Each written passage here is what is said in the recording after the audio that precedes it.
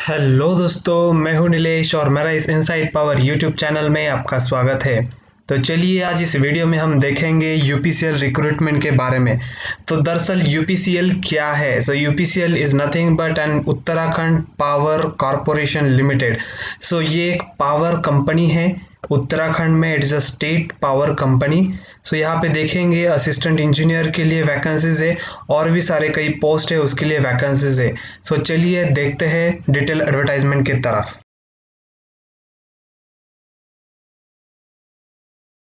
तो so, जैसे कि मैंने कहा था कि ये उत्तराखंड पावर कॉरपोरेशन लिमिटेड जो कि स्टेट पावर कंपनी है ये शॉर्ट नोटिफिकेशन जो कि न्यूज़पेपर में पब्लिश हुआ था। सो अभी चलते हैं डिटेल नोटिफिकेशन की तरफ़। सो यहाँ पे वैकेंसीज दिया है। सो आप यहाँ पे देख सकते हो assistant engineer electrical mechanical trainee के लिए ये पोस्ट है। So fifteen thousand six hundred to the so thirty nine thousand one hundred it's a grade pay and five four zero zero is the grade pay according to the seventh commission और आपको level ten का यहाँ पे payment मिलेगा। सो so, आप यहाँ पे आप देख सकते हैं यहाँ पे जो भी वैकेंसीज है कैटेगरी सब मिला के सेवेंटी टू वैकेंसीज है for the both post assistant engineer electrical and mechanical के लिए। आप यहाँ पे देखते हो असिस्टेंट इंजीनियर सिविल के लिए यहाँ पे टोटल सेवन वैकेंसीज है। सो so, यहाँ पे अकाउंट ऑफिसर्स के लिए भी वैकेंसीज है और यहाँ पे according to seven pay commission level ten का ही पेमेंट यहाँ पे मिलेगा। सो अकाउंट्स ऑफिसर्स के लिए टोटल वैकेंसीज है फिफ्टीन वैकेंसीज यहाँ पे लॉ ऑफिसर्स के लिए पर्सनल ऑफिसर के लिए भी वेरियस वैकेंसीज है। तो आप यहाँ पे दे सकते हो लॉ ऑफिसर के लिए यहाँ पे टू वैकेंसीज है। पर्सनल ऑफिसर के लिए यहाँ पे एट वैकेंसीज है।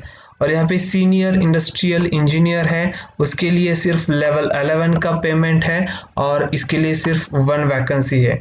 सो ये जो वैकेंसीज आप यहाँ पे देख रहे हो, यहाँ पे हॉरिजॉन्टल रिजर्वेशन का वैकेंसीज है। सो चलिए अभी देखते हैं रिजर्वेशन पॉलिसीज़ यहाँ पे लिखा है reservation as per the policies of Uttarakhand state government orders so आप यहाँ पे देख सकते हो इसेंशियल क्वालिफिकेशन क्या है। सो so, यहाँ पे यहाँ लिखा है assistant engineer electrical mechanical training के लिए। सो so, यहाँ पे bachelor degree in electrical electronics mechanical power engineering should be required so basic degree qualification is required here and यहाँ पे मार्क्स आपको चाहिए जनरल ओबीसी के लिए 65 percent and S C candidate के लिए 50 परसेंट होना ज़रूरी है। सो सिविल इंजीनियरिंग के लिए भी बेसिक बैचलर्स डिग्री होना ज़रूरी है। यहाँ पे आप देख सकते हो सिलेक्शन प्रोसीजर कैसे रहेगा। Assistant engineer electrical mechanical and civil training के लिए। सो so आप यहाँ पे देख सकते हो, एक रिटर्न टेस्ट होगा ऑब्जेक्टिव बेसिस वो टेस्ट रहेगा वो जो कि जो कि थ्री आवर्स उसका ड्यूरेशन रहेगा।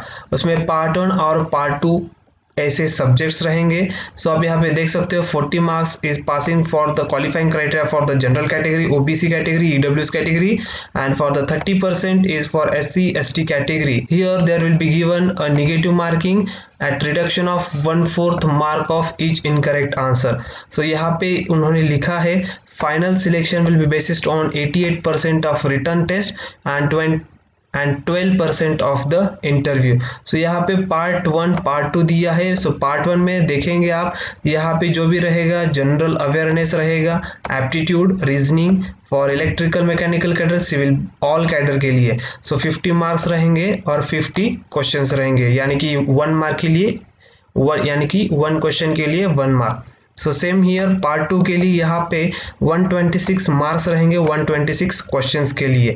और इलेक्ट्रिकल मैकेनिकल सिविल कैडर के लिए हर एक स्ट्रीम के लिए डिफरेंट क्वेश्चन पेपर रहेगा। सो so, ये रहा असिस्टेंट इंजीनियर अब हम यहाँ पे देख सकते हैं सेम हियर लॉ ऑफिसर के लिए भी ऐसा ही उन्होंने पेपर दिया है। हर एक स्ट्रीम के लिए डिफरेंट पेपर्स है, यहाँ पे अकाउंट ऑफिसर्स है, और उनके लिए क्वालिफिकेशन दिया है C A I C W M B A finance officer after that यहाँ पे सिलेक्शन प्रोसीजर दिया है। Same here for personal and same here for senior industrial engineer so यहाँ पे आप देख सकते हो एप्लीकेशन फ़ी जो है वो एट हंड्रेड रुपीज़ और फोर हंड्रेड रुपीज़ है। 800 for OBC general candidate and 400 for S C S T candidate so यहाँ पे रिटर्न टेस्ट सेंटर दिए हैं जो कि यहाँ पे मेंशन किए हैं। Starting of online application is from 17 March जो कि वो ऑलरेडी शुरू हो चुका है।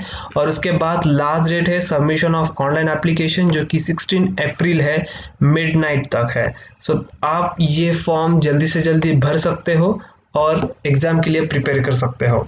सो so, आपने अभी तक इस चैनल को सब्सक्राइब नहीं किया है so please do subscribe press the bell icon ताकि आपको ऐसे ही अपडेटेड रिक्रूटमेंट का नोटिफिकेशन मिलता रहे। So thank you for watching my video please do subscribe